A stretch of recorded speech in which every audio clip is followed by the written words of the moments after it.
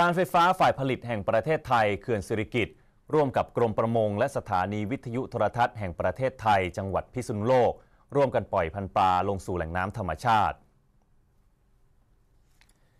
ที่ท่าน้ำหน้าวัดพระศรีรัตนมหาธาตุวรมหาวิหารอำเภอเมืองจังหวัดพิษณุโลก นายวิทูรัตน์ศรีนาม รองผู้ว่าราชการจังหวัดพิษณุโลก พร้อมด้วยดรสุเทพเลิศศรีมงคล ผู้อำนวยการเขื่อนสิริกิต ประมงจังหวัดพิษณุโลก เจ้าหน้าที่เขื่อนกฟผเขื่อนสิริกิตกฟผฝ่ายปฏิบัติการภาคเหนือ และประชาชนทั่วไป ร่วมกันปล่อยพันปลาสู่แม่น้ำน่าน ตามโครงการ กฟผเขื่อนสิริกิต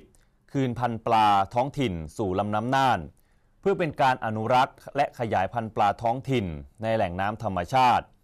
ประกอบด้วยปลาสร้อยขาว ปลาตะโกก ปลากาดำปลาบึก ปลาตะเพียน ปลาสวายเป็นต้น เพื่อทดแทนปริมาณสัตว์น้ำที่ถูกทำลาย ซึ่งการเพิ่มผลผลิตของปลาในแหล่งน้ำนั้น ยังเป็นการเพิ่มรายได้ และเพิ่มปริมาณอาหารโปรตีนแก่รัษฎรในเขตลุ่มน้ำน่าน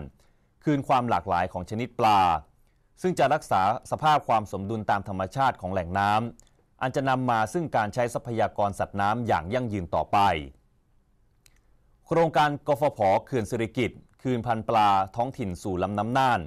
เป็นโครงการต่อเนื่อง 4 ปี ที่การไฟฟ้าฝ่ายผลิตแห่งประเทศไทยเขื่อนสิริกิต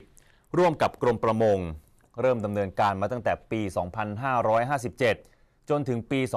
2560 ซึ่งจะมีการปล่อยพันปลาลงในแม่น้ำน่าน ตั้งแต่ต้นน้ำกลางน้ำและปลายน้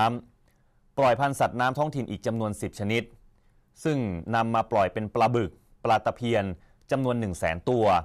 และจะนำมาให้ประชาชนร่วมกันปล่อยอีก 1 0 0 0 0แสนตัว ร่วมกันปล่อยพันปลาครั้งนี้จำนวนทั้งสิ้น 2 0 0แสนตัว